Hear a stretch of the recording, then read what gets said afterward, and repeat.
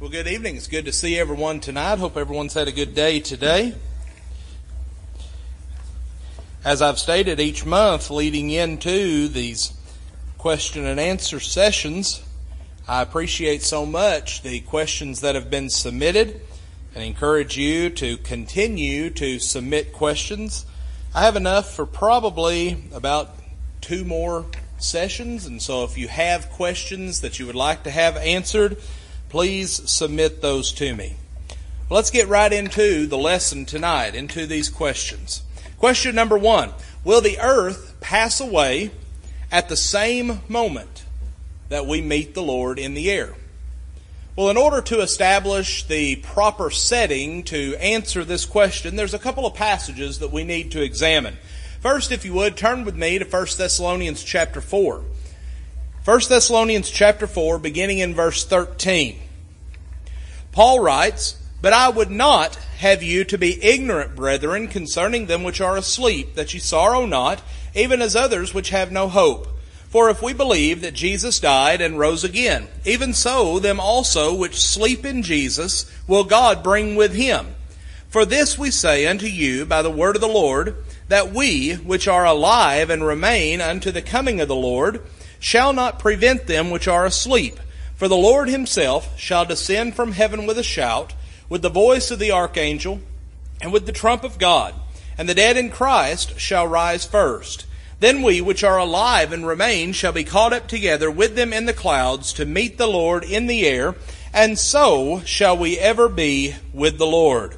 Wherefore comfort one another with these words. This passage reveals to us that when Jesus comes again, the dead in Christ, those who have lived faithful Christian lives but have suffered physical death prior to his coming, that they will rise from their graves first. They will rise in this incorruptible form. They will rise to meet the Lord in the air. But then, after this has taken place, those who are alive and remain, those who are still alive physically at that time, then they will rise to meet the Lord in the air, and they will all go to stand in judgment.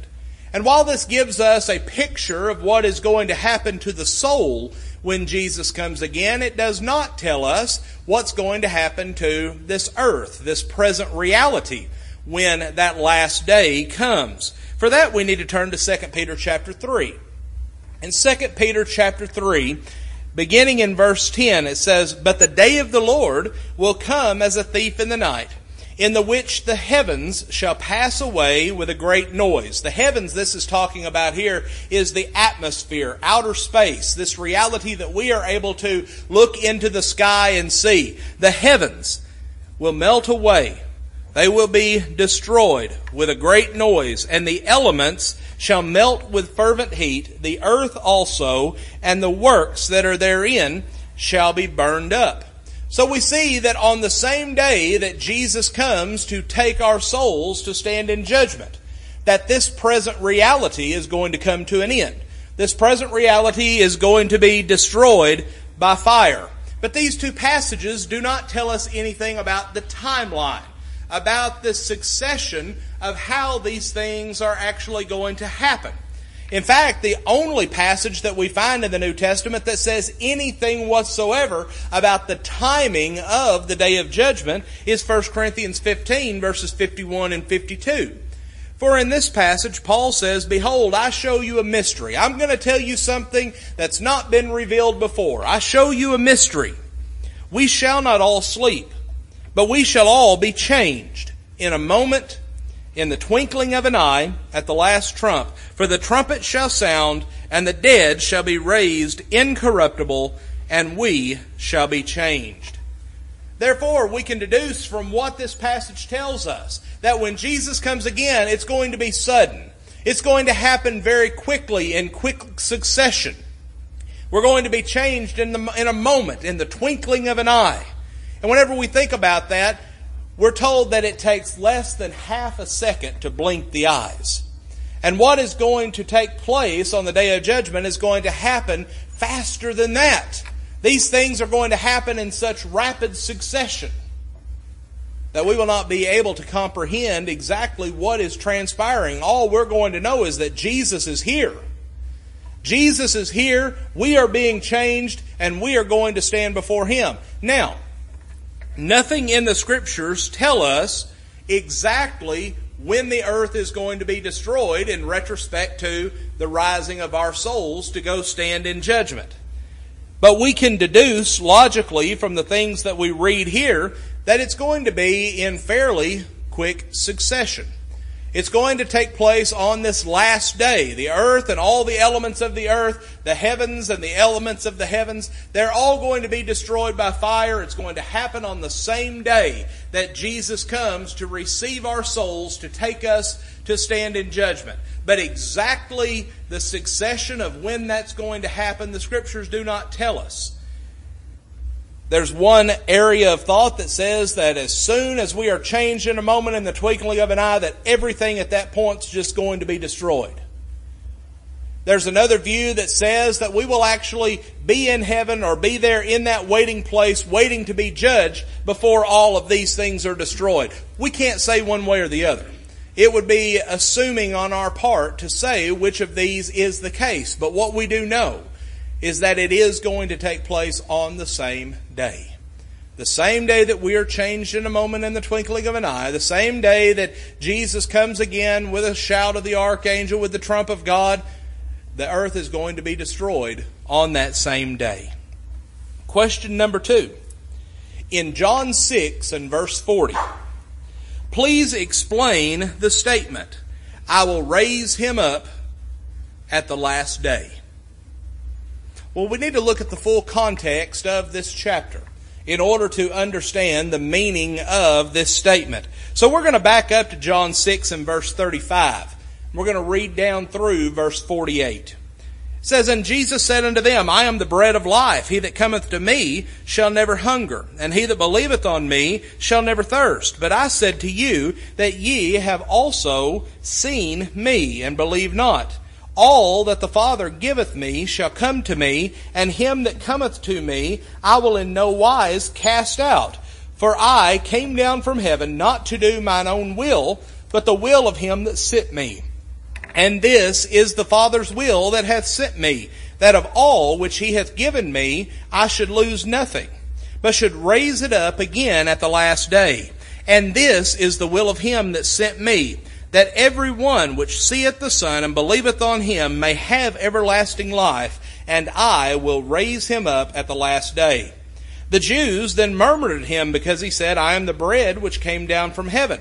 And they said, Is not this Jesus, the son of Joseph, whose father and mother we know? How is it then that he saith, I came down from heaven?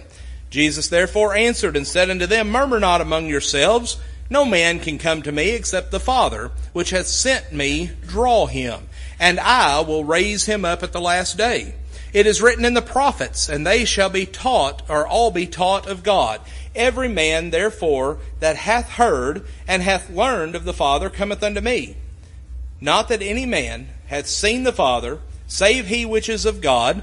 He, excuse me, he hath seen the Father. Verily, verily, I say unto you, he that believeth on me hath everlasting life. I am the bread of life.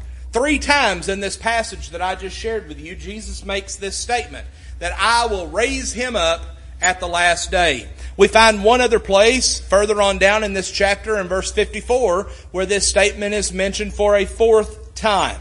Well, looking at this context, Jesus refers to himself as the bread of life. And in this, he is drawing attention uh, of the listeners to this concept of physical nourishment. We have to understand that what has taken place just prior to this is the feeding of the 5,000. He took these loaves and these two, these two fishes and he was able to feed 5,000 men, not counting the women and children. And then he uses this as an illustration to show that while that provided physical nourishment, that what he had to provide to them was spiritual nourishment. And so whenever we acknowledge what he is talking about here, he's saying that just as physical nourishment is crucial to the survival of the physical body, spiritual nourishment is crucial to the survival of the soul. And looking at this, he's drawing their attention back to uh, the time of the wilderness wandering. You remember when God caused the manna to rain down from heaven each day except for the Sabbath? This was a form of bread, and he is calling their attention back to this concept of that being the physical bread of life that God had provided for them, but now God has sent the spiritual bread of life. He has sent His Son to earth, and that through our obedience to Him, that we will be, as this question says, raised up on the last day. So now let's think about this question. What does Jesus mean? What's he talking about when he says, I will raise him up at the last day? Folks, he's talking about the resurrection. He's talking about, going back to the question that we just saw before, when he comes again. Those who are faithful to Christ, those who have passed away in a faithful state, they're going to rise first. They're going to have on this incorruptible form, this new body that we talked about in the lesson this morning, this perfect, immortal body. And then those who are alive and remain, those who are still alive in the flesh, they will be changed. They will take on this incorruptible body because only that which is incorruptible can go to the place where God is. And so when Jesus says that I will raise him up on the last day, he is saying those that accept those that take into themselves the things that Jesus has to provide from a spiritual point of view, He will raise them up to glory on the last day. Question number three. Were there two women named Mary who anointed Jesus' feet and dried, or anointed Jesus' feet and dried his feet with her hair? And the references that we have are John the 12th chapter and verse 3 and Luke the 7th chapter verses 37 and 38. Well, let's start out by looking at John's account. John 12, beginning in verse 2, we find this account. Then Jesus, six days before the Passover, came to Bethany, where Lazarus was, which had been dead, whom he raised from the dead. There they made him a supper, and Martha served. But Lazarus was one of them that sat at the table with him. Then took Mary a pound of ointment of spikenard, very costly, and anointed the feet of Jesus, and wiped his feet with her hair. And the house was filled with the odor of the ointment. Then said one of his disciples, Judas Iscariot, Simon's son, which should betray him. Why was not this ointment sold for three hundred pence and given to the poor? This he said, not that he cared for the poor, but because he was a thief, and had the bag and bare what was put therein. Then said Jesus, Let her alone, against the day of my burying hath she kept this. For the poor always ye have with you, but me you have not always. So on this occasion, Jesus is in the city of Bethany. He's visiting in the home of friends, Mary and Martha and Lazarus. During this meal, Jesus and Lazarus, they are seated at the table. Martha is busy. She's serving the meal. But then Martha, or Mary, she does something that the disciples, at least Judas, saw as just completely out of line. It says that she goes and she retrieves a vial, or as it says here, a pound of oil or ointment of spikenard. She brings it over.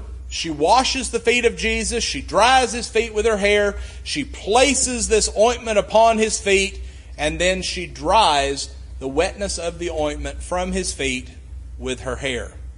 Now, just kind of on a side note, spikenard was the most expensive perfume that was available in the first century. One pound of spikenard. If you notice in the text that we saw here, Judas says that it could be sold for 300 pence putting this into um, an English uh, currency conversion, one pound of oil of spikenard would cost roughly a year's wages. And I've saw different references that say in US dollars, this perfume, the amount that she used on Jesus' feet, would have cost today anywhere between twenty to forty thousand dollars. Now, does that kind of open your eyes a little bit to why Judas did what he did? Why he said what he said? He saw this as being something that was very wasteful. He saw this as being unnecessary. Why did she do this? Why would she waste something that was so precious? Why would she put that on Jesus' feet? He said, We could have taken that, we could have sold it, and we could have gone out and helped the poor. Well, the text says he wasn't really interested in the poor, but he was the one that was carrying the money. He was interested in having that. He was a thief. But Jesus calls him out, corrects this behavior that he exhibited against Mary. The other account that we find is in Luke chapter 7.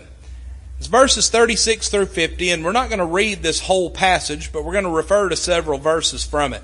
Here, Jesus is invited into the home of one of the Pharisees, a man by the name of Simon.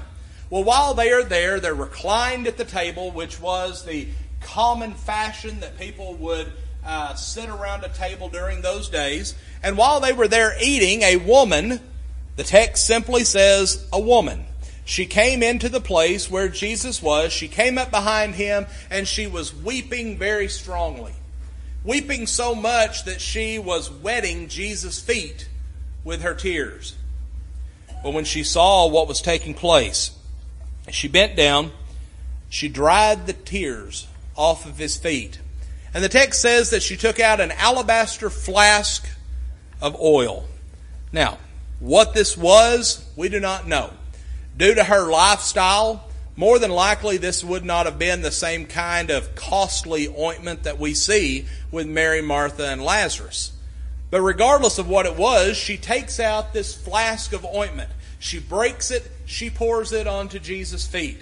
But she does this as a sign of respect.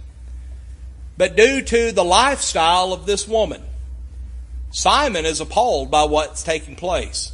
She has come up into his house. She has disrupted his dinner party. He did not see her as being someone that was worthy to be there in the presence of Jesus, much less to be in the home of a high standing Jew. And so he calls out Jesus. He says, why, why are you letting her do this? Do you not know who she is? Do you not know the kind of lifestyle that she lives?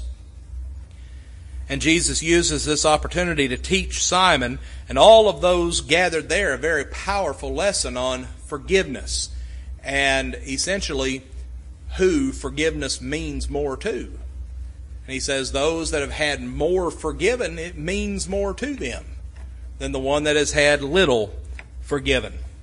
Okay, now these two stories have some similarities, don't they? And while they have some similarities, we find that there are some marked differences in these two stories. First, John's account took place in the city of Bethany, which was in the region of Judea. According to the text, what we read in Luke's account took place somewhere in Galilee. This was where Jesus was engaged in ministry at that time. Second, in John's account, we have the woman mentioned by name. This was Mary. We know about Mary. We read about Mary in other places. She was the sister of Martha and of Lazarus. Remember, at this time, it's after Jesus had already brought Lazarus back from the dead. They were close friends. They knew each other well. Third, in John's account, Mary was a faithful disciple of Jesus.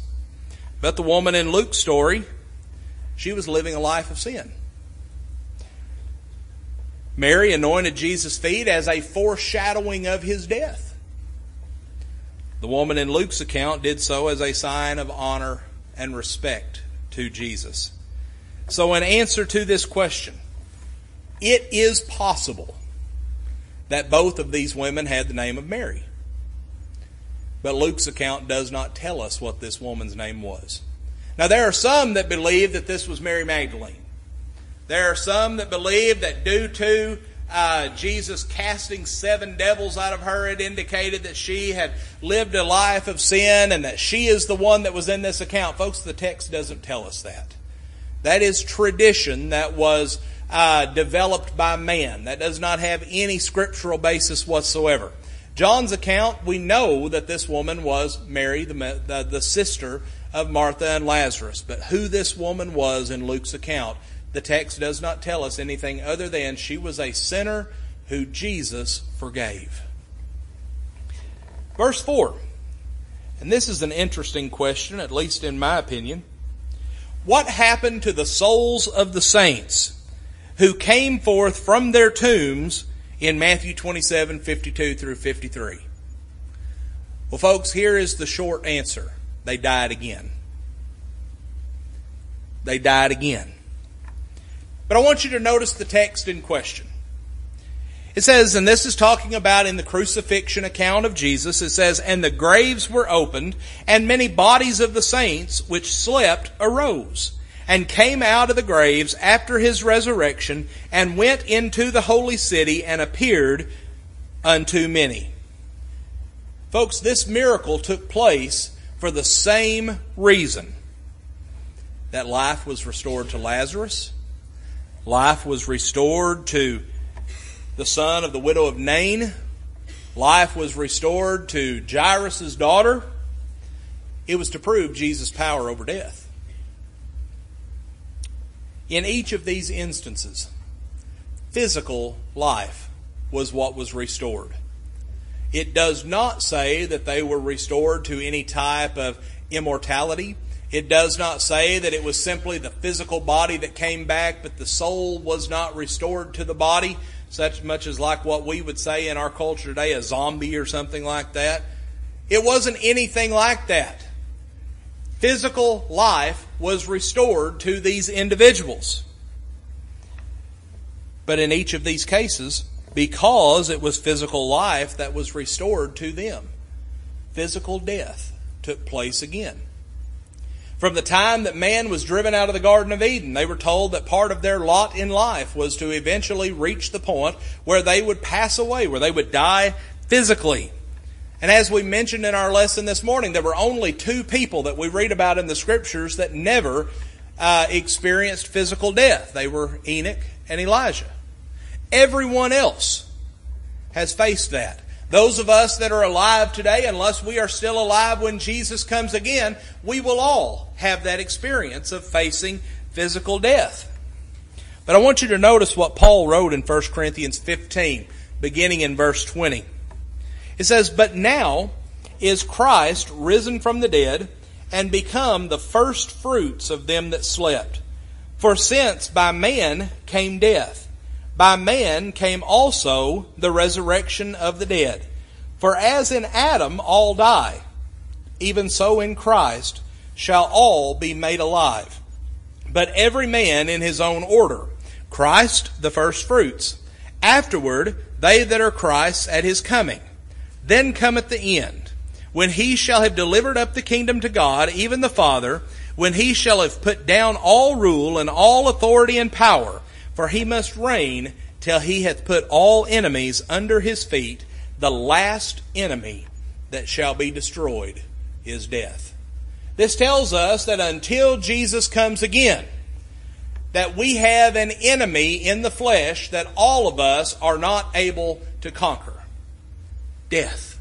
But when Jesus comes again, and he restores life to those who have passed away. When they come forth from the tomb, when we're changed into that spiritual form, he is proving once and for all, he's the first fruits of those that are changed, the first fruits of those who are, uh, who, who are changed into this spiritual form. He says, but each one, each one that are Christ's at his coming, when Jesus comes again, those faithful dead, those who are alive, who are faithful at that time, then they will receive that eternal life in heaven. They will take on that immortal body. They'll have access to the tree of life, as we read this morning, that's there on either side of the river that flows through the street there in heaven. They'll have access to that. Therefore, since those saints that came forth from the tomb in Matthew 27 were mortal men. One day they reached the point that they did die again. They faced physical death again. But when Jesus comes again, and all in their graves shall come forth to face the judgment, as he says, the last enemy of man, this physical death, will be destroyed. and the faithful will live on forever in the presence of the Lord. And then lastly, tonight, question number five. What does it mean in Matthew 27 and verse 50 when it says Jesus yielded up the ghost? Now, in this verse, the King James Version says Jesus, when he had cried again with a loud voice, yielded up the ghost. Now, there are several modern English translations that render it this way. Again, Jesus cried out loudly, and then he died. While, in my opinion, these modern translations do not convey the full gravity of what took place, the overall message is the same. Jesus cried out, and he died. But consider this people die every day, but not everybody yields to death. Think about that. To yield means to give way to arguments, demands, or pressure. And due to the pressure that our sins placed upon Jesus, he yielded up his soul willingly to God. He willingly laid down his life so that we could have the forgiveness of our sins. Now, had he fought against this, had he argued with God, had he said, No, I'm not going to go through with this, I'm not going to allow this to happen, had he fought with the Romans trying to prevent this, could we say that he yielded up his spirit? No, we couldn't say that. Even if they did ultimately get him on that cross, even if they did ultimately put him to death, even if he did ultimately die, could we say he yielded up the Spirit? No. We could not say that at all. Jesus willingly gave up his life. And this is why I believe that the King James rendering of this is a little bit more descriptive, a little bit more powerful in uh, describing exactly what took place on that occasion. Now, let me address this concept of the difference in ghosts and spirits.